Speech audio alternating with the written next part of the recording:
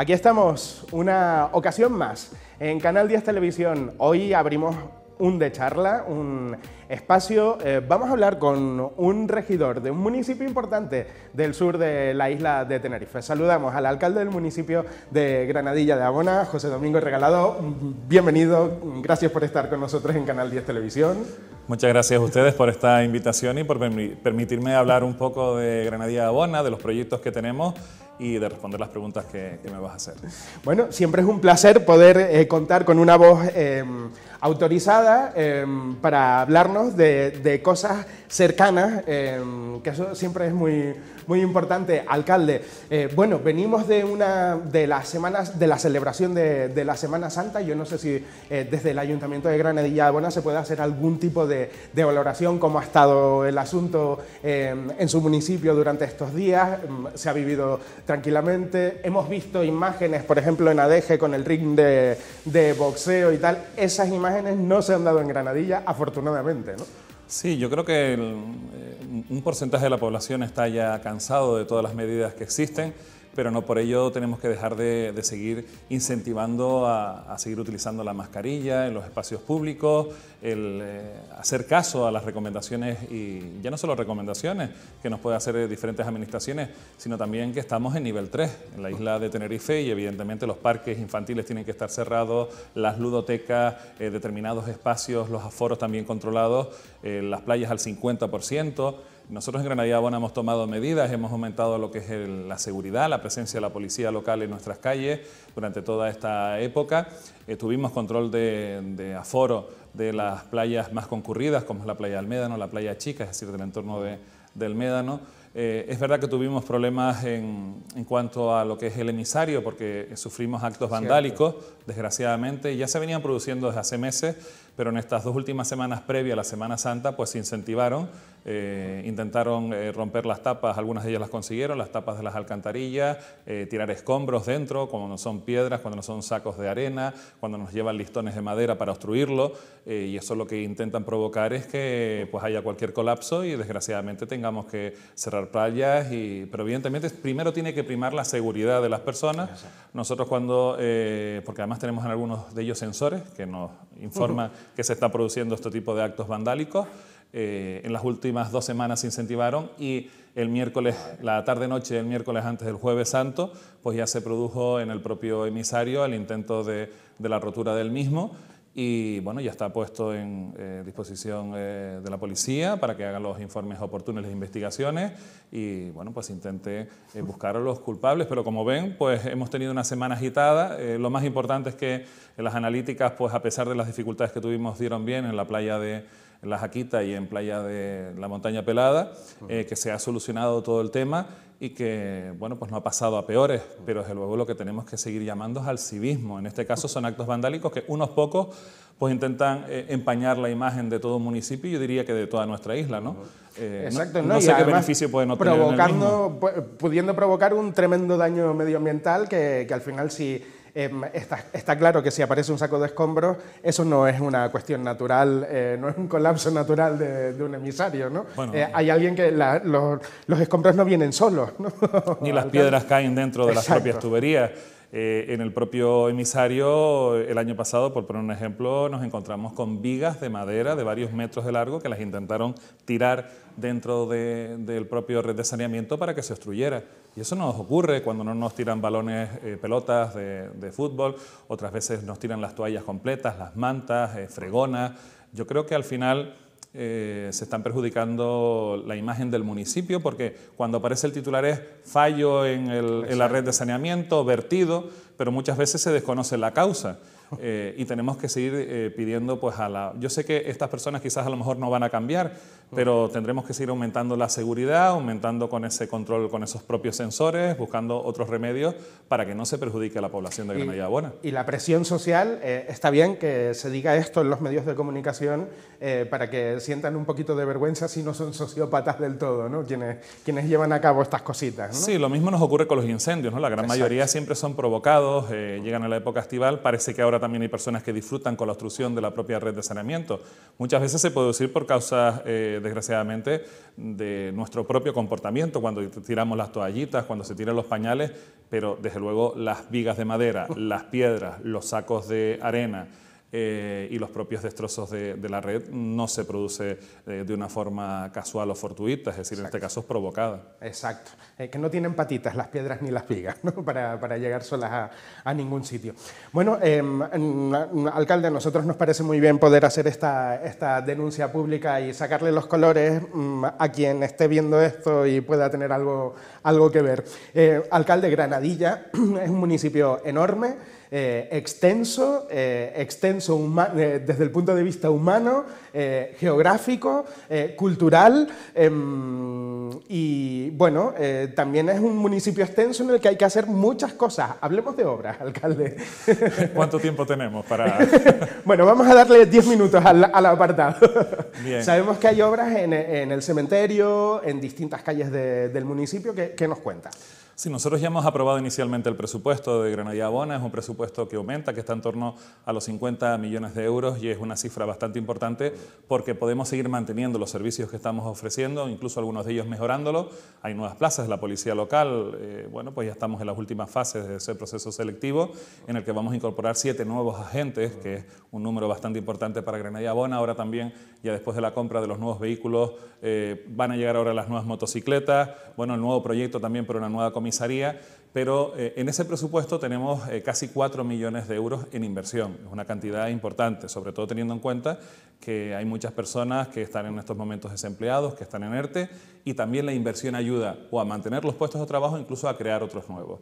Hay un plan de, eh, mejora de, las vías, en este caso eh, nosotros lo hemos puesto 2020-2023 porque es un proyecto bastante amplio, nosotros hay carreteras que necesitan una mejora, eh, algunas de ellas de forma urgente, otras a medio y largo plazo, y en el que queremos, de aquí a que acabe el mandato, tener más de 100 calles rehabilitadas en el municipio. Y cuando hablamos de calles no solo es el asfalto en sí, sino también son aceras, pasos de peatones, la accesibilidad, iluminación, bueno, pues todo ese tipo de mejoras.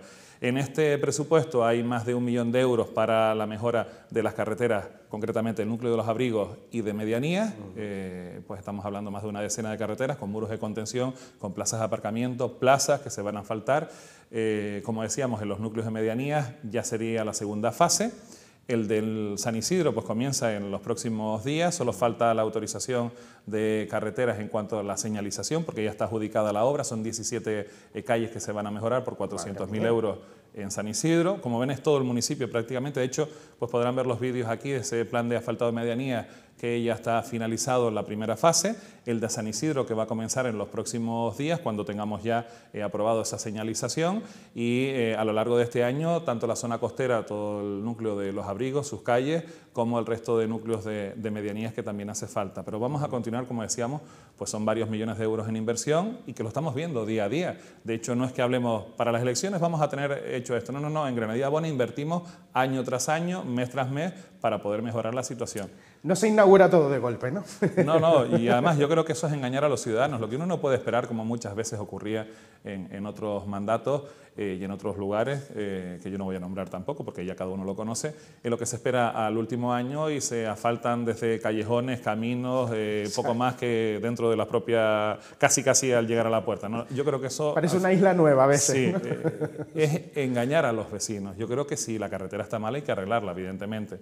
Habrá algunas que son complicadas porque ya la situación ha cambiado, no es como antes que sin proyecto, da igual que estuvieran rústico o no, se asfaltaba y después pero ahora ya la situación... Ahora hay que tener en cuenta impactos ambientales, un montón de cosas. ¿no? Es diferente. Con su proyecto, evidentemente que el suelo lo permita, con su proyecto sacar a licitación, concursos públicos, bueno, pues todo ese tipo de procedimientos, la burocracia que al final desgraciadamente es muy lenta y, no nos permite pues eh, ir todo lo rápido que nos gustaría. Pero ya tenemos ese plan de eh, mejora de asfalto y viaria de Granadilla a Bueno, un plan de asfalto 2020-2023 en marcha, en el que ya pues, se han asfaltado alrededor de 20 calles. Eh, las próximas pues, van a ser el resto son otras 80 de aquí al 2023 y que se va a notar eh, el cambio en Granadilla Abona y que, que avance nuestro municipio.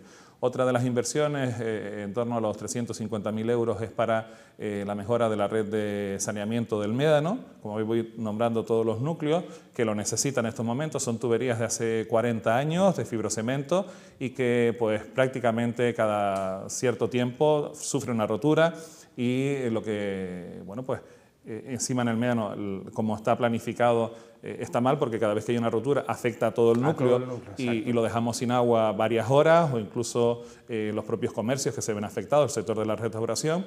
Y lo que hemos hecho es planificar toda una nueva conexión con unas tuberías que permita que si hay un, una avería en un sector no perjudique al resto. Se van a cambiar todas de la avenida principal, la conexión con la Juan Carlos I, pasando por la José Miguel Galván Bello, que es la avenida que entra al Médano, luego bajará eh, por la Príncipes de España hasta la plaza, la calle Isla de Tenerife, que es la que va hasta el campo de fútbol, y de la campo de fútbol también tenemos la Baristo Gómez González y la calle Alemania, todo ese sector que incluye hidrantes para si hay incendios, pues que podamos tener una conexión para los bomberos o incluso detectores de pérdidas de agua. Yo creo que va a ser una inversión bastante importante y que va a mejorar la situación.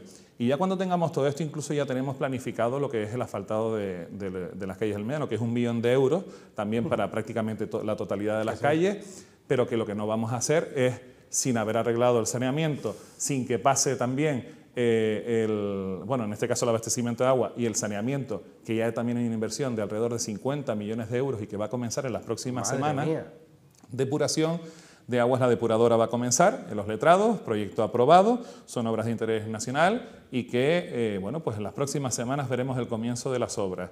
Eh, y toda la red de costera que se va a mejorar y la conexión con las medianías. Eh, lo que nosotros vamos a esperar a que esté realizadas esas conexiones para luego realizar el asfaltado. Exacto. no vamos a hacerlo al revés, ¿no? Exacto, sería ilógico, ¿no? Eh, asfaltar para luego tener que levantar, ¿no? Y, volver a enterrar todo, ¿no? Bien, entonces estará... Eh, lo bueno que si se cumplen los plazos, en 2023 Granadilla Buena no va a verter al mar. Y eso es importantísimo.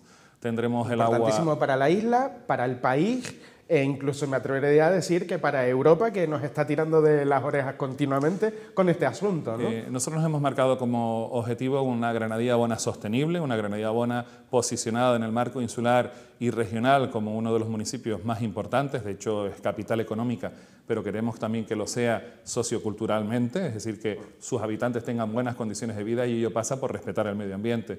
Si la depuradora se cumplen los plazos, 24 meses de ejecución y 12 meses en pruebas, ya en 2023 no habrá vertido y el agua la podremos utilizar para la agricultura. Es un agua regenerada. Imagínense el gran paso, teniendo además la desaladora que está funcionando y que estamos abasteciendo sin hacerle presión a los acuíferos. Exacto. Es decir, va a ser un municipio... Poder regenerar, ¿verdad? Que naturalmente eh, todos esos acuíferos, ¿no? Un municipio completamente eh, nuevo y respetuoso.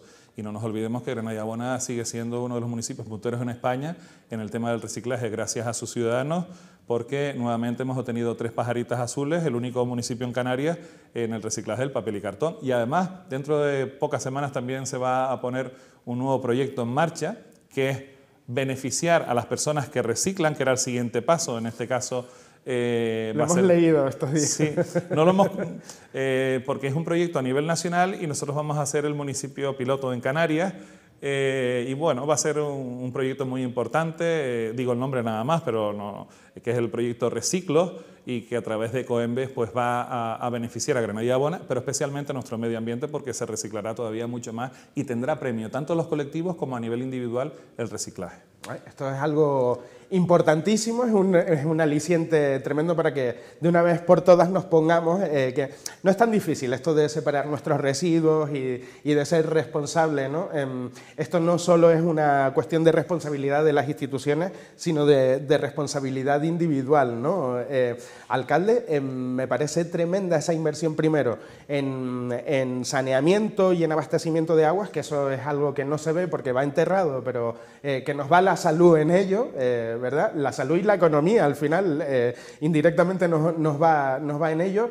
Em, nos gusta mucho esa apuesta por el medio ambiente y que Granadilla pueda ser eh, municipio piloto para una experiencia em, a, nivel, a nivel nacional, eh, pero alcalde, em, hablaba usted de calidad de vida en el municipio de Granadilla de Abona Sabemos que ustedes con los jóvenes también hacen un trabajo tremendo de concienciación en toda esta materia. ¿Qué nos cuenta? Sí, han sido varios centenares, yo creo que es importantísimo. Mm, es verdad que estamos sufriendo una pandemia, una crisis sanitaria, económica, social, en definitiva, eh, pero no por ello debemos de dejar de actuar con, nuestros jóvenes. Y especialmente... La sigue, ¿no? Sí, y, y, porque muchas veces en un momento determinado, por muy buen vínculo que tengas con tus padres, que te vaya bien en el colegio, en un momento tu vida puede cambiar toda esa situación y entrar en un mundo en el que desde luego es muy difícil salir, hablamos del tema de las drogodependencias.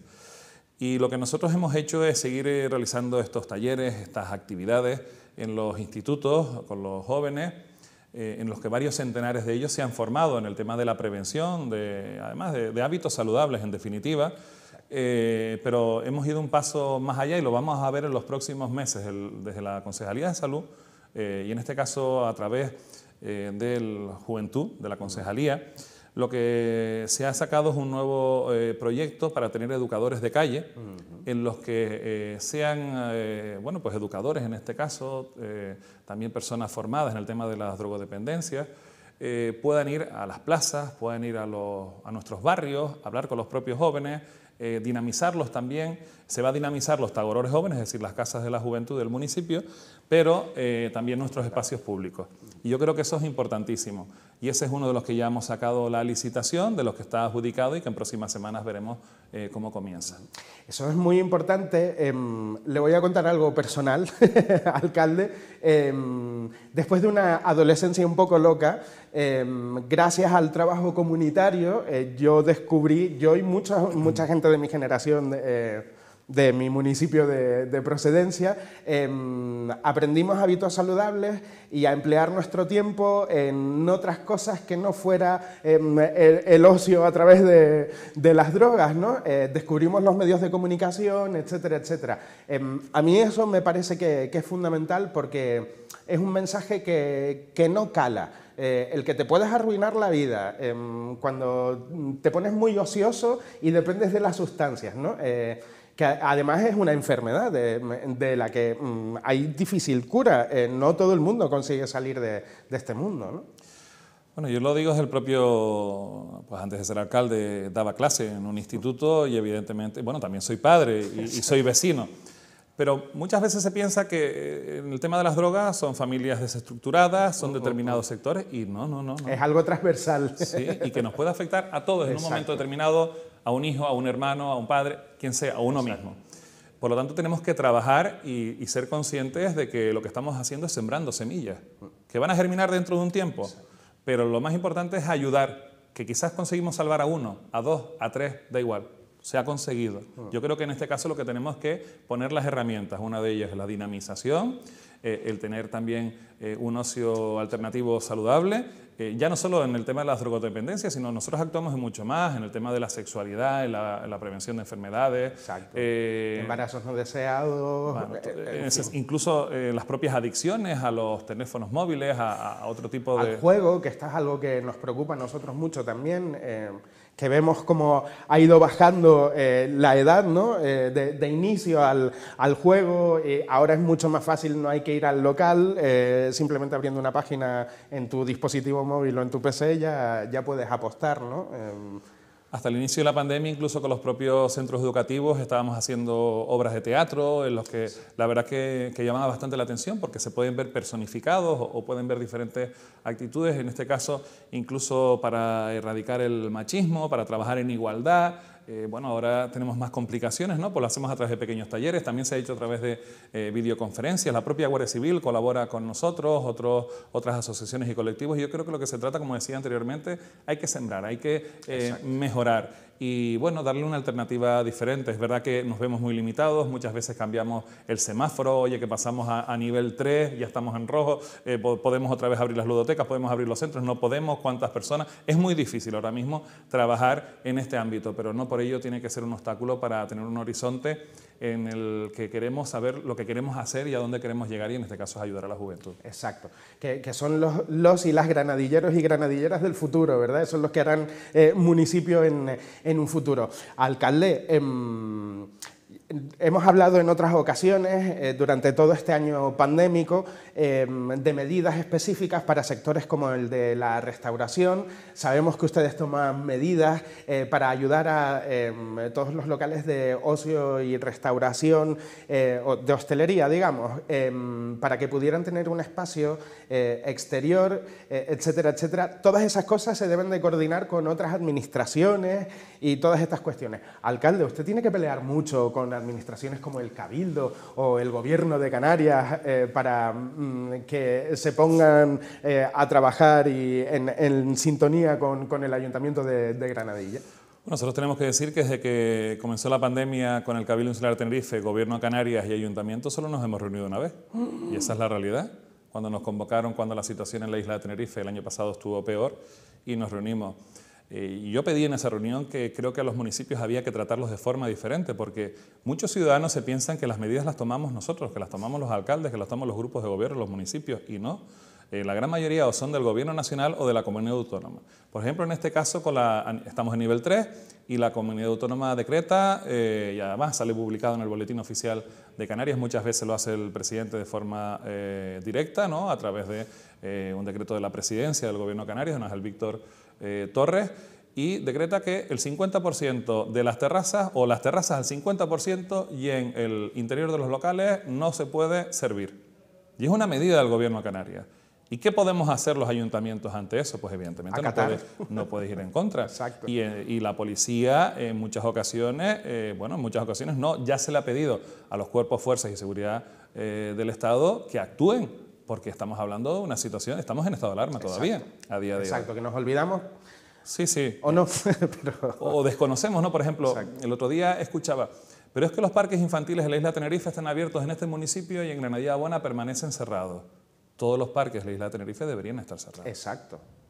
Exacto, es una medida, no es una medida que, que, no son medidas que decida cada ayuntamiento, vienen impuestas, emanan, eh, bajan como una fuente. Presentado, nosotros los hemos presentado, eh, vamos por la mañana, eh, va la policía, luego nos podemos encontrar también actitudes, bueno, pues que hay alguno que quita la cinta, la rompe, entra, pero no podemos tener un policía detrás de cada ciudadano. Granada Buena tiene más de 60.000 habitantes a día de hoy y después miles de visitantes. Es imposible tener, yo creo que un policía detrás de cada uno, un guardia civil. Eh, tenemos que ser, en este caso, todavía más cívicos en la situación que estamos pasando y que no también la actuación de algunos, algunos por desconocimiento y otros por agotamiento, eh, sean los que eh, lleven la voz cantante. Estos son actitudes que tenemos, por ejemplo, el caso que vimos en el municipio de Adeje con esa eh, pelea y los demás, pues tenemos que decir que eso está muy mal, que se está poniendo en riesgo la salud y que ese tipo de actitudes tenemos que, mm, que desaparezca, ¿no? tender hacia eso pero que no es la tónica. Es decir, hay miles de habitantes que están cumpliendo y yo creo que eso es lo importante. Claro, es llamativo porque, porque claro, los casos son escandalosos, eh, pero efectivamente no se puede generalizar en líneas generales en esta isla y supongo que en el municipio de Granadilla eh, de Abona la población lo ha hecho, lo ha hecho estupendamente. Eh, Especialmente que muchas veces se ha achacado a los jóvenes sus actitudes. también hay que ponernos en su piel. Eh, la época del cuerpo, es decir, la, está en, sé si hubiera resistido en continua un encierro o, medidas de este tipo con 14 años. Pasado un año, los jóvenes no han podido salir un día de fiesta, no han podido tener ese contacto como lo podían tener y está cambiando su propio cuerpo, su propia mente se está desarrollando, su personalidad. Es el momento de socializar más que nunca. ¿no? Si lo es difícil para un adulto, pues imagínense para los niños y para los jóvenes, que en los institutos y en los colegios y en los centros educativos se ha cumplido verdaderamente y a lo que tenemos que felicitar. Exacto, no podemos hablar de cifras escandalosas de contagios en la comunidad educativa ni nada de nada. Esto está todo controladito. Que después hay algunos actos incívicos que van a un polideportivo, que están juntos, evidentemente ocurre pero no nos olvidemos, Granada Buena, 60.000 habitantes. O en otros municipios lo mismo, miles y miles. La isla de Tenerife aproximadamente un millón de habitantes. Cifras redondas. Bueno, y los actos incívicos son... de 2, 3, 10... Contados, ¿no? Exacto. Y llama la atención. Pero bueno, yo creo que tenemos que ir en esa senda. Eh, antes hablabas medidas, bueno, pues a través de un bando de la alcaldía eh, se firmó, es decir, tomamos la consideración del grupo de gobierno, que se pudieran utilizar los espacios públicos, en este caso las aceras que fueran amplias, siempre dejando los 90 centímetros para que pudieran pasar las personas o si su local estaba en una plaza que también pudiera eh, dentro de su fachada ampliar. Cuando digo una plaza pública, no plazas de aparcamientos, porque eh, la dificultad en Granadilla Abona es que la mayoría de locales están de restauración están en carreteras insulares.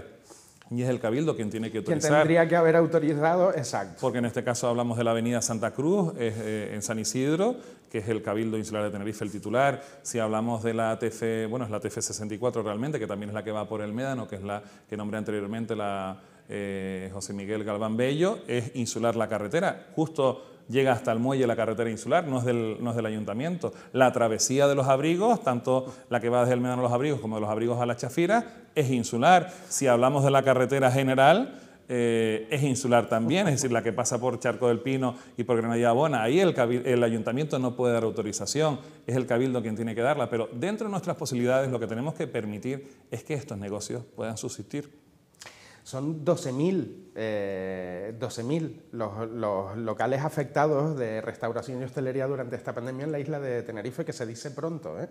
muy pronto. Eh, no son 12.000 personas, son 12.000 familias que viven de, de, eso. ¿no? Y, y, bueno, todo lo que nos han venido anunciando de cuidado con la pandemia socioeconómica que se nos viene encima, Estamos viéndola en, este, en, este, momento. Alcalde, nos quedan dos o tres minutos, pero yo quiero preguntarle también por un poco de, actualidad. Em, estos días, em, porque además Granadilla es también municipio, municipio turístico, eh, estos días hemos conocido em, bueno, un lío judicial, una condena eh, del representante de los hoteleros en, la provincia de Santa Cruz de, Tenerife. Mm, Alcalde, ¿todo esto qué, lectura puede, tener? ¿Esto nos hace bien a la comarca sur de, la isla de, Tenerife? Mm. Bueno, yo lo que creo que su cargo está a disposición de quienes lo han puesto ahí. Y lo que, yo por lo que he leído los titulares de prensa, tampoco he leído la noticia en, su, eh, bueno, en su contenido, ¿no? Eh, creo que ha puesto su, eh, su cargo a disposición eh, tanto las dos asociaciones que en estos momentos se encuentran y van a ser los socios, me imagino que en las próximas horas, quienes decidirán si continúan o no su cargo. Em, yo lo que sé es que estamos viviendo momentos muy difíciles y que lo que necesitamos es mostrar toda nuestra atención, e intentar paliar esta situación y lo tenemos que hacer todos, todas las administraciones. Aquí no valen colores políticos. Eh, es cierto que en el Gobierno de la Nación, en el Cabildo Insular de Tenerife y en el Gobierno de Canarias están mismo, los mismos colores y pueden tomar todavía decisiones eh, en coordinación. Pero nosotros los ayuntamientos necesitamos que se nos dé previamente. Lo que no puede ser es que nos enteremos en los boletines leyéndolo, como el resto de los ciudadanos.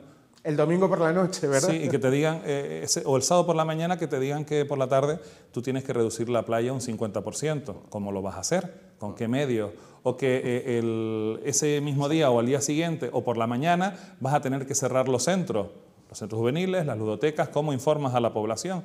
Y eso nos ha ocurrido en la mayoría de los casos. O en el tema de la vacunación ahora mismo, que está llegando a través de mensajes y muchos, eh, un SMS. Eh, bueno, pues yo creo que... Alcalde, hablemos de esto. Eh, mm, nos están contando desde el gobierno... No estoy vacunado, también tengo que decirlo. Y, del, gobierno del Estado continuamente que los ritmos de vacunación son estupendos en Canarias y en España. Alcalde, de una población de dos millones, ciento y pico mil vacunados, cuatro o cinco meses después de la llegada de las primeras vacunas, ese es un buen ritmo de vacunaciones, esa es nuestra salvación. Yo lo que creo que no se puede engañar a los ciudadanos. Eso en primer lugar. Y cuando uno va a la hemeroteca, es decir, que ve... Eh, antes se hablaba de que íbamos a llegar en verano al 70% de la población vacunada, porque eso iba a provocar, pensando en la economía, que estando el 70% íbamos a estar inmunizados. Eso es lo que se decía a principios de año y a finales del año pasado, para que se pudiera salvar el verano. Como no vamos a llegar, porque no vamos a llegar, ahora vi esta misma semana en los medios de comunicación a nivel nacional que con el 20% ya estamos inmunizados la población. nos hemos cargado un 50% de golpe. Oh. Y yo creo que lo que hay que explicarle a las personas es la realidad. Si ha habido dificultad en la creación de las vacunas y la propia distribución, se informa. Y lo asumimos, nos puede gustar más o nos puede gustar menos. Que cambien los criterios en algún término, lo mismo. Que se va a investigar por las porque nos hemos encontrado algunos casos, es verdad, puntuales en la aplicación de esa eh, vacuna, perfecto. Pero lo que no puedes estar cambiando los criterios. Y, al final la gente lo que va a hacer es dejar de ver esos informativos, dejar de leer esa información, no tener conocimiento de la misma y que nos encontremos en una situación de completo desapego por las medidas que se toman. Es como lo que vemos. Eh, eh, Portugal, Francia y España parece, nosotros vivimos, es verdad, que al lado del continente africano, pero parece que España... Tres universos distintos. Tres universos completamente diferentes, como si la... Y, y, después se toman medidas, y ya con esto también eh, finalizo, en los que sí pueden venir turistas, pero los canarios no pueden salir, salvo excepciones. Es decir, yo creo que, no sé, cuando se toman este tipo de, medidas. Y, le digo, y termino, aquí se ha puesto a la hostelería, a nuestros bares, a nuestras cafeterías, a nuestros restaurantes, prácticamente como los culpables de, los contagios. De los contagios. Y me gustaría que nos transmitieran a los municipios dónde se producen los contagios, porque la gran mayoría es en el ámbito familiar en el ámbito familiar, y no nos engañemos, es cuando te vas a tomar la taza de café con tu vecino, cuando vas a eh, las reuniones a ver el partido de fútbol o lo que sea, te quitas la mascarilla las medidas, y todo junto. las distancias. Pero estamos perjudicando a miles de personas en sus puestos de trabajo y que tienen que seguir pagando los impuestos. Entonces, vamos a ser serios en ese sentido y decir, pues sí, porque se ha producido un tanto por ciento, tenemos estos focos aquí o estos allí, y se explica y se dicen las cosas pero no tomar medidas por tomar y las tenemos que aplicar y ya está, porque hemos visto que al final cerrarlo no mejora la situación. No, para nada. Al final entramos en un bucle. En fin, alcalde, me están matando ya, eh, nos quedamos sin tiempo. Eh, se me queda pendiente que me gustaría que habláramos de esto aquí y también en, en Despierta Tenerife, en Senador Radio, que ya le hago la invitación aquí en público, eh, para que cuando quiera comparta tiempo con nosotros vía telefónica, incluso si quiere. pero se nos queda pendiente lo de los presupuestos estos de Granadilla, em, uno lleva ya unos cuantos años en esto y es no habitual em, encontrar que los presupuestos de los municipios, de las administraciones en general, eh, están en tiempo y forma. O sea que yo creo que de esto deberíamos, deberíamos de hablar porque, em, aunque debería de ser lo, habitual, no no lo es. Eh, y de otros muchos asuntos que se nos quedan pendientes, como por ejemplo también en materia dineraria, económica, los dineritos, los remanentes, eh, qué es lo que está pretendiendo hacer el Estado con esos dineritos, qué piensan las, administraciones locales como los ayuntamientos, etc. Será para, para, una próxima ocasión. José Domingo Regalado, alcalde del municipio de Granadilla de por Coalición Canaria,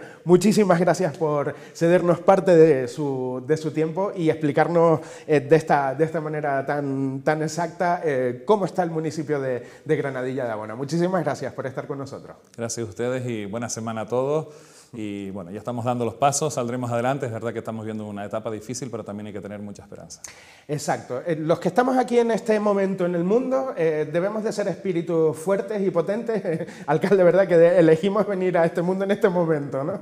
Saldremos adelante. Así que todo, todo es para adelante. Alcalde, muchísimas gracias. Nosotros nos vemos muy pronto aquí en Canal 10 Televisión.